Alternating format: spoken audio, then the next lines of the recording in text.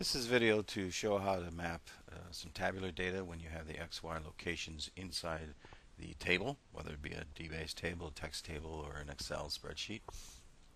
And here we're working in the island of uh, Puerto Rico. And we're going to simply add the tabular data. And we go up here and we use the plus sign. And the tabular data is inside of eBird. So we go to eBird, open that folder, and we have an Excel spreadsheet here. We're going to open that. And we have each of the worksheets, and we bring one in at a time. So let's just grab worksheet one, which is usually the one most people start putting their data in. And if we bring that in, notice how it has changed us from listing by drawing order to listing by source in the upper left corner of the table of contents. And that's because this is tabular data. It's not spatial yet. If we right click on that layer, name and go down to um, open, excuse me, we'll go to open first. Here's the tabular data. Uh, this is what it looks like. We have different fields here associated with the uh, species name, the scientific name, and so forth. But we also have these two fields, which are important ones, latitude and longitude, which give our location. And if you look at these, you can see that this is 17.9977427. That's obviously decimal degrees. So these are in decimal degree, uh, some sort of decimal degree system. Now, what we want to do is use these fields to map these points so that we can identify all these uh, species locations. And the way we're going to do that is we come back up to the uh, layer and we right click again to get the context menu but instead of open we're going to go all the way down and use display XY and bring up that dialog.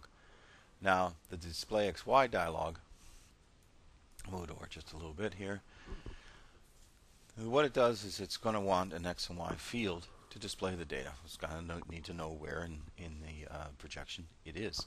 And it defaults and starts looking for information and, and names it recognizes, and it found longitude. For the Y field, it did not find latitude, and instead it grabbed year collected. We're, we know that's incorrect, so let's set it for latitude. So we're set it for latitude. So we now have longitude for the X, that's your east-west direction. We have latitude for your Y, which is your north-south direction. There is no field or, or Z field or elevation information. And then we come down to the last piece here and we have a coordinate system of the input. Now this is what it's asking you, what are these coordinates down here in this tables? What do they really mean? What system are they in? Well, you would normally go to your metadata associated with where you got this table from and you'd make sure that you're using the right the right coordinate system. By default the dialog reached out and grabbed the, the data frame information up here and put it in place. Well, it's not the same coordinate system as the data frame. So in order to correct what's shown here, we need to use the edit button. And for the edit button, we get another dialog and that allows us to select a coordinate system. And we're going to go ahead and select one. This These data sets came from a GPS locations. Uh, more, more than likely, they're probably in WGS 84, 1984. Um, they could be in another coordinate system coming out of a GPS unit. You, you, you also, again, have to know what the, uh, what the unit was recording and what it was uh, downloading in. So we're going to go to geographic and say yes, they were in the in the normal format world we go into, and down at the bottom of world there's WGS 1984 projection. We're going to grab that, apply it. Notice it gets it put in the dialog here.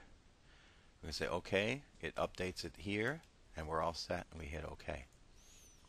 Now you will more than likely almost always get an error that there's no object ID. And that's fine because these this was not spatial data to begin with. And they're just telling us we're not going to be able to export this, but they do remind us that you can that we can export it to a shapefile, and that's what we're going to do. So we say OK, it plots the information out there. Let me just change the color a little bit to uh, maybe make it show up a little better. And we can also, a little graphic anomaly here, make them a little bigger. There. There's our points. And these are the XY locations that we brought in for a different species. They look relatively normal. We don't see any way out in the um, ocean things like that, they seem to fall where you'd expect them to fall. That's just an initial check. You would have to, if you really are suspicious of your coordinate system that you use and whether it's correct, you need to check it against uh, some known locations. Alright, so we now have what is called an event layer inside of our ArcGIS map document. This layer only exists inside the map document. If you want to use it at another in another document or a later time, it's a good idea to export this out. And what that will do is create either a shapefile or a geodatabase feature class. So we right click on the event theme and we say and we go down to, in the context menu to data. And in the context menu under data there's an export option. Pick that and inside this dialog, it allows you to export all features or a selected set. It also asks you about using this layer's source or the data frame. So if we wanted to project it to the data frame at this time, we could.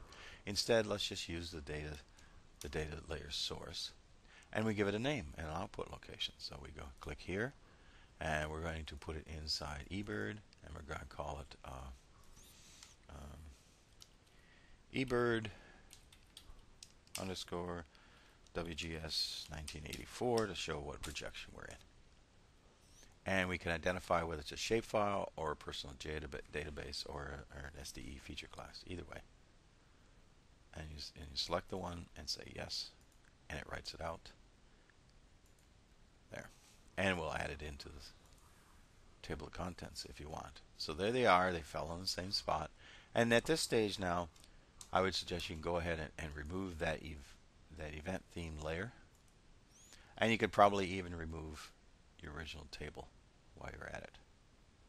No sense leaving too much in that you don't need. And we'll switch back to drawing order.